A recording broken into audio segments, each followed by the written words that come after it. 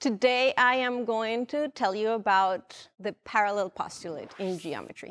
Well, let, me start by telling you what it is, right? So this originally appears in Euclid's Elements. It's, I think, published 300 BC. And it's what we inherited as geometry, right? And it was, in fact, for a very long time, especially in the 19th century, taken to be the example of what it means to know something, right? Uh, we like it because it's deductive, you know, you have a set of rules, and then from those rules you derive some truths. So what is the parallel postulate? And this is something that we actually learn in high school geometry. If we are given a line in our plane L, here we have a point P, point that is not in the line. Then what we can do is we can, we can draw many lines that go through that point P. But what Euclid told us, and that was the parallel postulate, is that there's a unique line that does not intersect L and goes through the point P. One and only one. One and only one. That is, that is the key here. One and only one. There exists one and it is unique. And that's what we took to be true. That seems to me like the most obvious thing in the world. Right. Because if I draw any other line, it's got that slight angle, which means it's going to be at one side of it is going to be tipping towards L. Right, right, right. And in fact, you know, like, so this is a little bit of a lie because if you open Euclid's Elements, you're not going to find this statement the way it is written. So in fact, the way he wrote it is more similar to what you were saying. What he said is, you know, if you have a line and then you have the point P, you draw your line through P. Then let me draw uh, just any other line through P to help. What he said is if the sum of these two angles is less than 180 degrees, then the lines, once you extend them to infinity, they're going to intersect. Right, classic Euclid parallel postulate seems yes. true to me. Yes, exactly, exactly. And it, well, in fact, it seems true to you and to most of us because it is actually true. But it sort of depends on the model of geometry that uh, we're considering, right? So here we're working on a plane and to do geometry we need among many other things a way of measuring distance and you know like if we're here in the plane we measure distances with a ruler. Or if you want, you know, like there's a formula, if you have coordinates, um, it's basically the uh, Pythagorean theorem. So we have, we know what we're doing. However, that is not the only space in which we can do geometry. Not even two-dimensional space, right? So the plane, we have a vertical direction and a horizontal direction. Those are our two dimensions, right? Let me show you another space where we can do geometry. Here's what we call a sphere. So as mathematicians call it S2. If you're a mathematician, then you draw R3, three-dimensional space, and you say that this is the set of points that are at distance one from the origin. If you're not a mathematician, you're just looking at the shell of uh, a football ball. Is this a two-dimensional space? or? This is a two-dimensional space because, again, we basically only have uh, two directions in which to move, right? So if you want, uh, we can do it in terms of meridians and um, latitude, right? The way we do it to describe location, right? Like if you look in Google Maps, if you want a precise location, you're going to get two coordinates. Yeah. Exactly that. Okay. So although although we think of balls and things as three-dimensional objects, because we're only dealing with the shell, it's a two-dimensional. Exactly. Yeah, and that is very important. We're not thinking about the feeling where you know that we're thinking about a little ant that is just completely flat. So what happens to the parallel postulate here? Well, so you know, here I started by telling you there's a line and there's a point, right? So I have to tell you the, the same thing here. I have to define my objects. So a line in here is going to be what we call a great circle. What is a great circle? Take the intersection of this sphere with a plane that, that goes through the origin. So this is a great circle. Or, you know, the way I drew it here, this is the equator. that's also going to be a great circle. So every line has to like to be the longest possible line, does it? It can't be just a little circle. Aha, so that's so this is key, right? So there's a difference between what we call a line and what we call a line segment, right? Um, and actually, so that line segments, that's one of the first rules that we have in Euclidean geometry or in, in, in the geometry of the plane, which is that if I give you two points, you're going to be able to give me a line. In our plane geometry, that's pretty easy. Two points, we get a ruler, here's the line, right?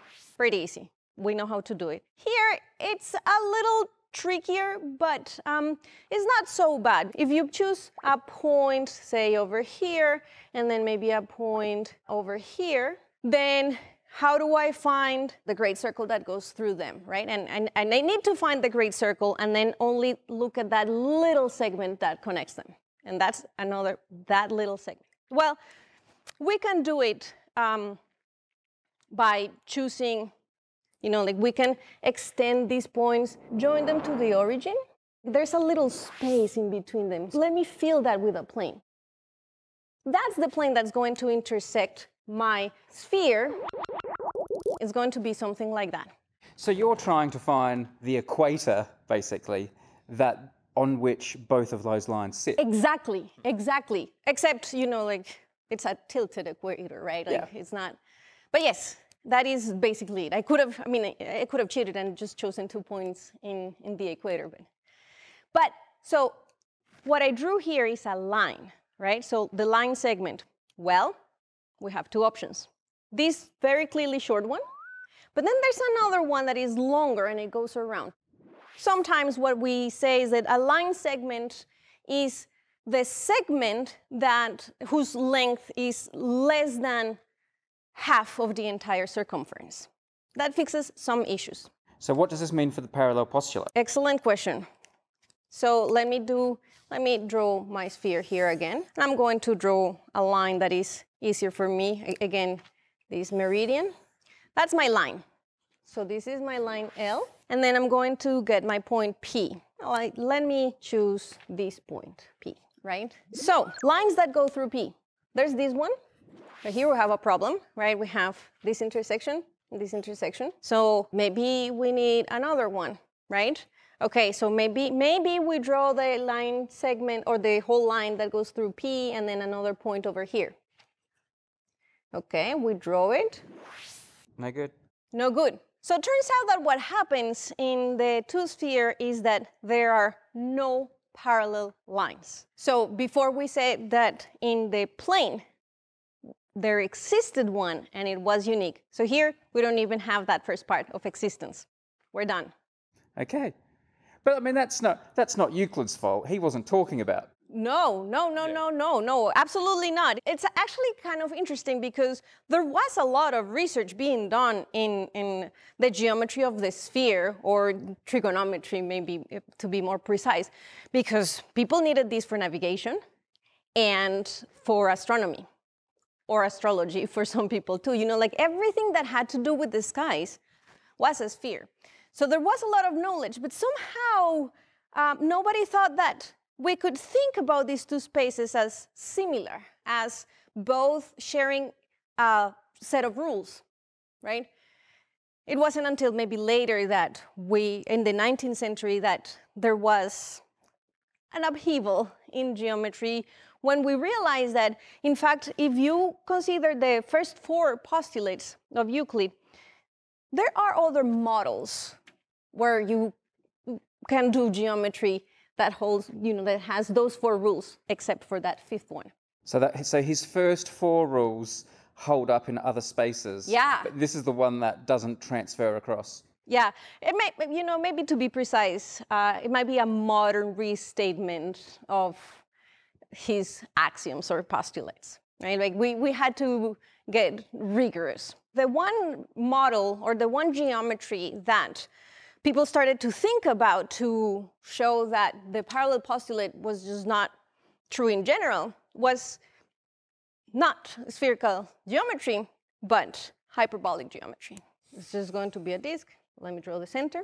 And again, I have to tell you what it means to have a line. So a line, it's either going to be a straight line that goes through the center, or if I move a little bit away from the center, it's going to be the segment of a circle that is orthogonal to the boundary circle of the disk. So are there parallel lines, right? Well, in this case, we are going to have parallel lines, or we're going to have too many. So that's sort of like the other problem, right? Like we said, there exist and is unique. We already saw a place where they do not exist. Now we have one where they do exist, but they're not unique. So what happens here is, um, so let me say again that this is my line L. Why not? And let's say this is my point P. Well, that's one line that goes through P, doesn't intersect L, great, but I can draw more. I can sort of move my circles. I could just do many, many more because, in fact, there are going to be infinitely many. So the length here, again, you know, going back to this distinction between a line segment and a line, this circle is a line. It sort of looks like it's like finite, right? Like here a line is like the one that extends forever. The way we measure distances here is such that if you have two points that are very close to the border, these two points are very, very, very far away from each other. Even though, you know, like we're looking at it, and if we were using the distance measurement that we had in, in the plane, they look very close to one another. But the way we measure things in this new geometry makes them be very far away. This postulate has failed us again. Yes, exactly. Except, you know, it failed us um, in the sense that it, it doesn't hold, right? So that immediately means that it it is not a consequence of the first four rules, which was actually a question that people had for a very long time. Could it be derived from the first four postulates? And now we see that's just not the case. And clearly, this fifth one was a bit of an add-on. It's not part of the family. It's not. It's not part of the family. No, no, not exactly. And in fact, can the can the other four be derived from each other? No, no, no, no. Those are sort of, you know, like the, the four of them are the minimal set of rules that you need uh, to play the game of geometry, if you want. Yeah, but in, you know, like in fact, in, in Euclid's elements, if you analyze it, you know, like maybe in a philosophical or historian of science way, you realize that Euclid waits a while before using the parallel postulate, right? He uses the first four back and forth, back and forth. But the, the fifth one, he waits a little bit. That was a clue. That's what some people think, yeah. So maybe that he wasn't easy about it a little bit. Does, the, does this make you feel more affectionately towards the fifth one or less affectionate towards it? Do you think of it as a, an ugly aberration or does it make you feel it's more charming? I think it's, well, I don't know if charming, but you know, like it's a lot more important, right? Because it just allows us to think of more than one way of doing geometry in two dimensions. That's, that's just fascinating. The angle's less than two right angles. it's not catchy, is it? no, there's a lot of words, wordy. And let's, let's see what it means. Two straight lines, for instance. We're going to put a third one in